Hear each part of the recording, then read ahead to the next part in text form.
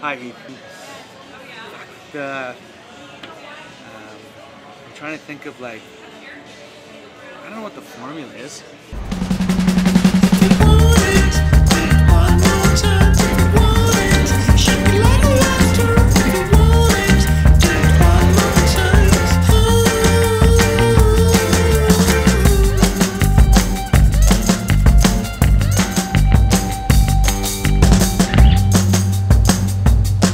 Guess who we got to sit down with this week? That's right, Kyle Marshall. Kyle Marshall, the supervising producer from The Loud House. It's one of Nickelodeon's most successful shows, and I met, first met Kyle many, many years ago when I was working in Paris on a co production called Atomic Puppet. And Kyle was the uh, director for Mercury Filmworks. It was an incredibly interesting process making that show and meeting Kyle for the first time. He was really kind enough to share a lot of his experience with our creative team in Paris and our co director Khalil Benami. So I took a moment with him uh, in a very noisy restaurant to just talk to him a little bit about, you know, his process and some of the ways he sets up and pays off gags in the shows that he makes. I think it's really interesting. It's quite a narrow discussion that goes quite deep, quite fast. So tell us what you think. I thought it was really interesting, and I'm certainly going to try some of the stuff he was talking about next time I'm working on a show. Thanks very much. Bye. Uh, I'm Kyle Marshall, and uh, I'm currently supervising producer on Loud House. Woo! And uh, originally from Canada. Worked there in Canada for about 10, 11 years, and then moved out here about four years ago. Uh, I think early on in school, there they always taught us that boards, like that's your, that's the blueprint of the whole show. Right. And so you have to have your full vision down in every panel. Right. Because if you don't, because it, it's going to, it, especially if you're working on a co-production, even if you're working and you know the people are 10 seats away from you, Yeah. no one knows what's inside your head. And so we work in a visual medium where we're throwing something on the screen for all these people to try and understand what's in our head. You know, the kids at home watching it or whatever. And so just every panel have your vision down. Right. Because if you're confused about, if you can't answer anything on the panel, then it's confusing to everybody else. No one, no one's gonna get it right. So my big thing was like, you got always gotta have, have your full vision down. Yeah, I mean, so like, in, so that on the technical side of it, yeah, like with boards, like make sure I like to have everything in there. So like my background, my make Right. sure that everything's working properly that way. Your joke, when you're setting up a joke, like make sure that the setup, the timing. I like to have the timing in the board so you can kind of, yeah, you don't have to, you don't have to animate the board, Right. But you put as much, you can put a little timing in how you pose something, yeah. and that's going to be. So then when you get that back from the editor, they kind of saw your vision too, and they can already put that timing in there without Right. you having to sit down with them. Yeah, no, that happens too. Where like all of a sudden they feel that everything needs to be drawn a lot, Yeah, and then it takes away from the joke. Right, right, right. right. You know, like old Yeah. Chuck Jones, like Shasta McNasty, where like the whole body just moves, or it doesn't move, and then the legs just move. Kind so thing. funny. It's such a great joke. Yeah.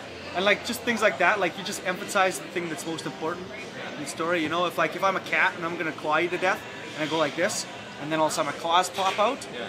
Like if I go like this and then I'm moving around, well that's gonna take the focus off those claws, and then it's not gonna be a good joke. Yeah, I'm, And so you didn't set up. Okay, I'm setting something up, and then here it is, and then you know.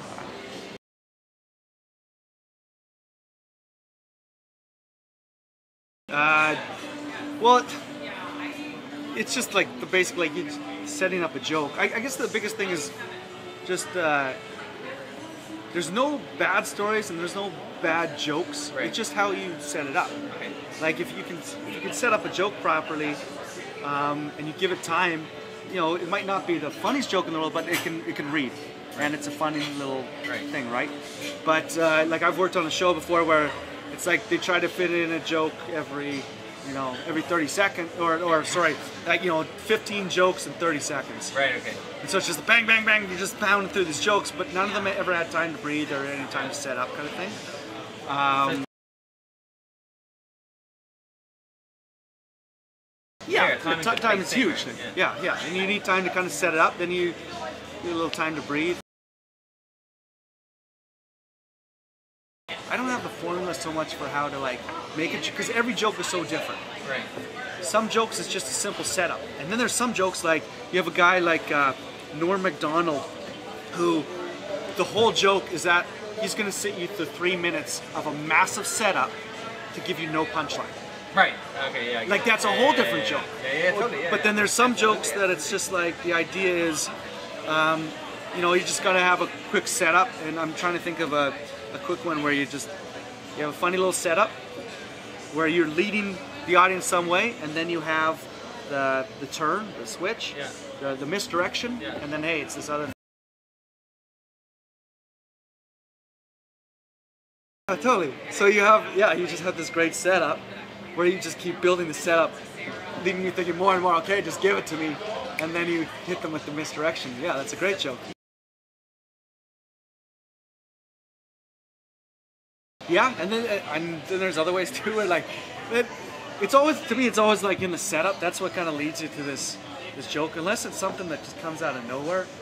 Um, trying to think of one in Loud House where yeah, it's like a callback, like a really good callback Right, right, right, right. is like it's just a massive setup. It's a runner throughout an episode, right? So we have this one in Loud House where this character keeps whistling, and every time they whistle, it brings like a, a, you know a, a flock of birds chasing them, and that's not what they're trying to do with the whistling. And then so we built this thing up, and then we kind of forget about it for a while, and then they have this really emotional moment.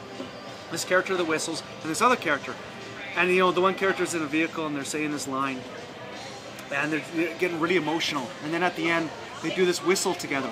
And then right then, a bird comes out of nowhere, and she rolls out the window quick, and the bird basically dies, and because it smokes the window. And like it's fun, like if that just came out of nowhere without the setup, Yeah.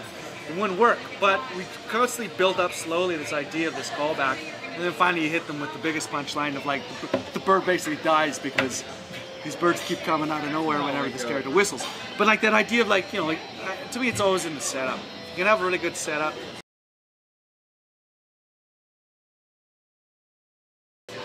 That's why I think I like I'm I think I'm more suited for that. Where like some people are really good at just subtle weird humor that are gonna make you laugh with the with the way they draw. You know, like um, like I watch Apple and Onion, and just the way that they dance is funny. Right. There's no setup to that. Yeah. It's just funny drawings. Yeah, And okay, some okay, people yeah, can yeah. really do that. Yeah. Whereas like I, I come from more like hey, you set you build, build, build, build, and then you either give them the joke or you Norm Macdonald it.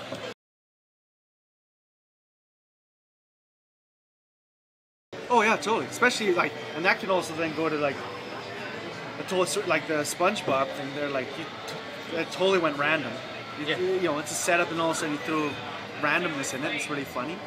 Yeah. There's a lot of people that are like that that just have a funny way of just drawing. Yeah, it just makes you laugh, just the way you know. And there isn't even a joke behind it.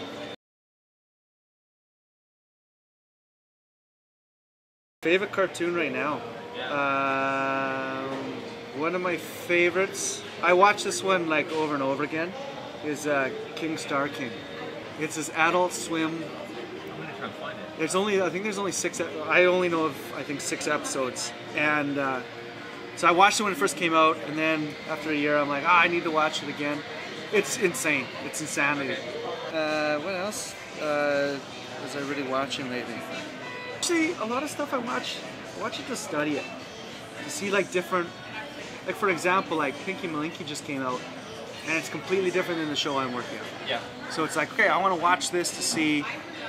Like, it's a really funny show, and I had a lot of friends that worked on it back in Canada at Jam Filled, and they loved it. And so it's like, okay, what? Is, it's a whole different style of joke telling, different stories and stuff.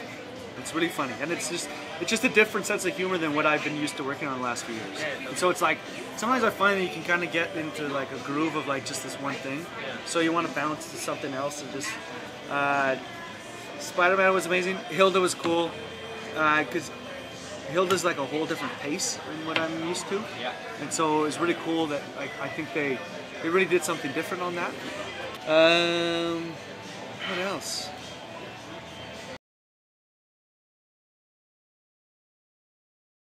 And it's like there's a few that I hang out with that do, and like sometimes you want to come home and you want to get away from it. Sure. So you, you want to watch your, your Breaking Bad or your Wire, or something dark and gritty, or maybe you want to watch Big Brother. I don't know, but I like to sit down and watch the new stuff that's coming out. Or also look at old stuff that it's like, hey, what? Like it's pretty fun to watch some older cartoons. Remember what it is that that why I like what I'm doing.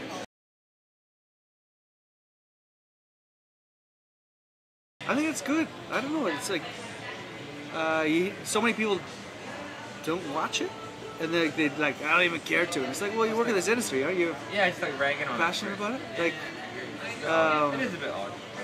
I think it's good. like you know when like I don't know, like you can tell the hockey players that are passionate about hockey because they'll come home after a game and they want to watch they want to watch other games. Like you want to study what the other people are doing. You want to like oh they're doing something like that. That's really cool.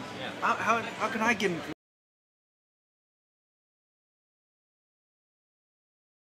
Uh, email Instagram's good.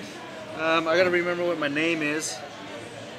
I was so stupid because thing. I made this massive name and then I can't remember what the hell the name is.